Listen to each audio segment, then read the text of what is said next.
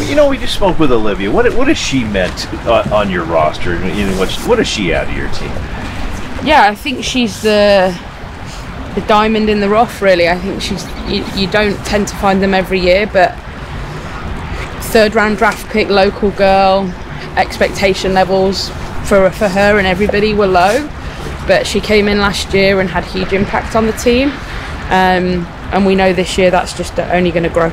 Is that just through coaching, work, surrounding her with talented players? And I think all of the above. I think she, she's got to take a lot of credit. She came in really ready, physically, mentally, tactically. She, she she's a really good player. I think um, she's just fell under the radar, um, but not not for long. I don't think. I think she's gradually getting the recognition that she deserves.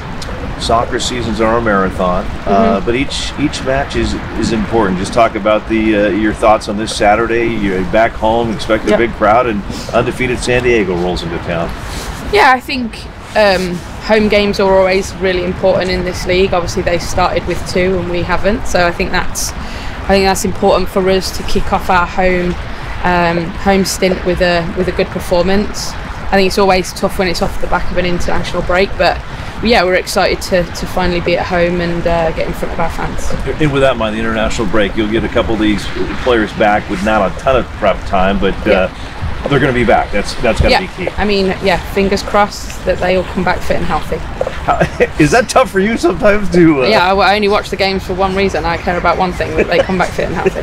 How good? How good? I know it's it's one match at a time, and it, it's very early on the season. But how good is this team right now? The OL right? Yeah, we're good. I think we're obviously we kept a lot of our players from last year. We think that we've got a deep deep roster.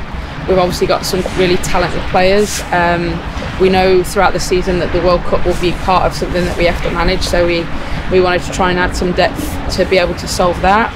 Uh, but yeah, we're we're a talented group. Uh, we know that. We know that when we play opponents, that we always see the best out of them because I think you know that if you don't bring your best against us, then you're not going to be able to compete with us. Um, but we have to match that. We have to match everyone else's best with our best, and we'll be okay. Ticket sales look good for Saturday. Weather looks good. How much do you find out that the team really builds off of a, a, a packed house and a rowdy crowd on a Saturday night? Yeah, one hundred percent. I think Lumen was um, was rocking at times last year, and it, and we really feel that. Um, I think that when the fans get behind this team, they we tend to see the best out of them. So yeah, we're excited to have a, a good crowd and uh, see everybody out there.